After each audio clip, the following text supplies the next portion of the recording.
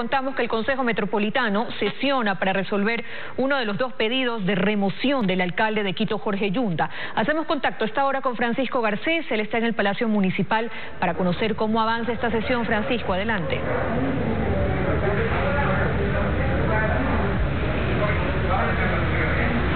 Sí, Denise, amigos, eh, buenas tardes. Nos encontramos en la sala del Pleno del Consejo Municipal de Quito. Hace escasos dos minutos se acaba de levantar esta sesión extraordinaria en este lugar y ha pasado algo inédito durante la mañana. El denunciante del alcalde de Quito, Jorge Yunda, Marcelo Ayo, durante su intervención aquí en el Pleno del Consejo Municipal, ha desistido de su denuncia y la ha retirado. Eso quiere decir que este proceso que estaba previsto durante toda la mañana ha quedado trunco con el retiro de la denuncia de Marcelo Ayo. Entonces aquí se ha analizado, pese a ello, la situación, se ha rechazado lógicamente la actitud del denunciante y también esto ha generado problemas dentro del Consejo. Escuchemos a continuación lo que dijo Marcelo Ayo, quien, insistimos, desistió de la acusación contra el alcalde de Quito, Jorge Yunda. Se ha dado ya a conocer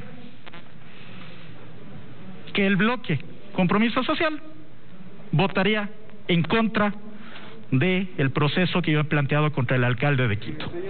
Se abstenga de hacer comentarios políticos en contra de... Exactamente. Estamos pidiendo el respeto. Así estamos pidiendo expresamente retiro a través del desistimiento esto porque esto no se tiene que probar acá. Esto no se tiene que ventilar acá. En quienes han sido grandes causantes, la mayoría de ustedes, de lo que estamos viviendo hoy en la ciudad de Quito. Absoluta sorpresa ha causado dentro del Consejo Metropolitano la actitud del denunciante Marcelo Ayo y también generó la inmediata reacción de Marcelo Icaza, quien representa legalmente al alcalde Jorge Yunda. Escuchemos a continuación lo que dijo realmente era un proceso de tinte político y no de un tinte legal. Se debía probar realmente que el interés público estaba sacrificado por el no cumplimiento de las normas y eso no se pudo evidenciar. Este proceso tenía que terminar en lo que acaba de terminar, un verdadero show político.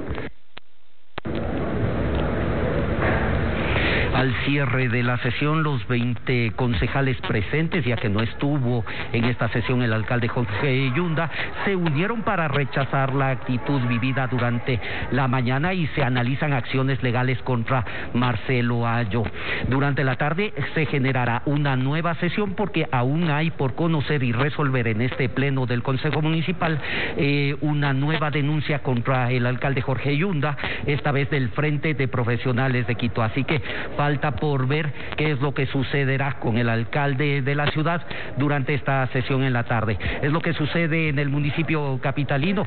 María Isabel, desde Guayaquil contigo tenemos más información. Buenas tardes.